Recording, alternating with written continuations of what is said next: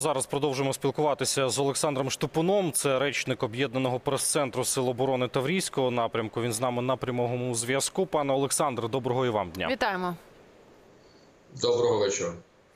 Е, Отже, стосовно Авдіївського напрямку, яка ситуація оперативна сьогодні там? Е, Ворог е, збільшив, скажімо, кількість, кількість, а не якість саме бойових зіткнень. Е, Найбільше е, фіксувалося минулої доби. Це, е, якщо дивитися по карті, то з півдня е, десь Авдіївки. Е, Також протягом вже трьох діб окупанти е, активно застосовують на Донеччині і по Авдіївці, е, зокрема, е, Е, керовані авіаційні бомби з літаків Су-35. Е, Тільки вчора е, російські терористи скинули близько 30 авіабомб.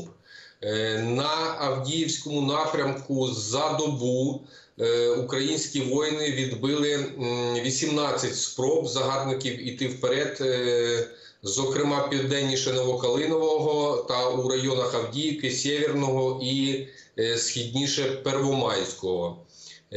Відзначається продовження залучення до штурмів осіб е, з числа кримінальних злочинців, а також громадян Росії, е, які е, раніше зовсім не брали участі в бойових діях. Е, Це призводить до, скажімо, дезорієнтації е, деяких підрозділів е, російських. І також е, фіксується ну, потрапляння таких дезорієнтованих е, осіб е, до полону. Е, Особовий склад окупанти, е, які привозять, е, скажімо, свіжий або розміщують у будинках місцевих жителів, таким чином прикриваючись цивільним населенням як живим щитом. Це щодо Мар'їнки. А оці полонені, пане Олександре, про що ви згадали?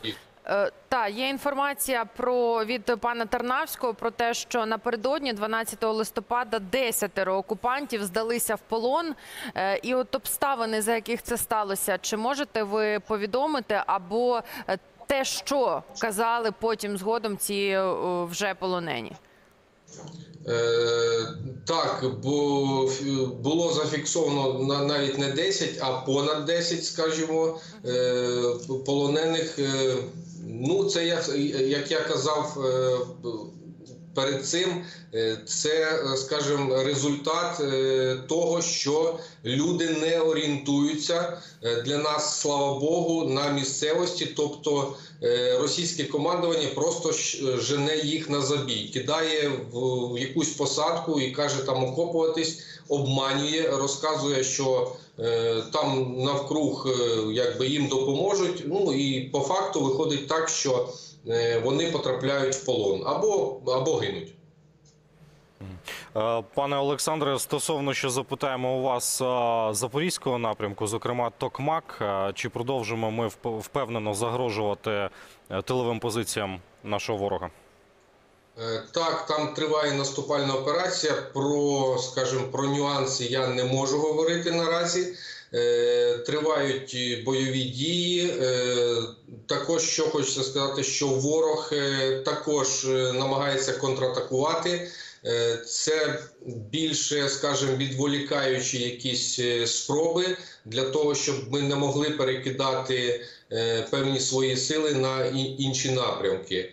Е, Ну і, наприклад, на Мар'їнському напрямку е, ворог продовжує тиснути за підтримки авіації. Е, Минулої е, доби зафіксовано е, в районах Мар'їнки і Новомихайлівки аж 24 атаки окупантів.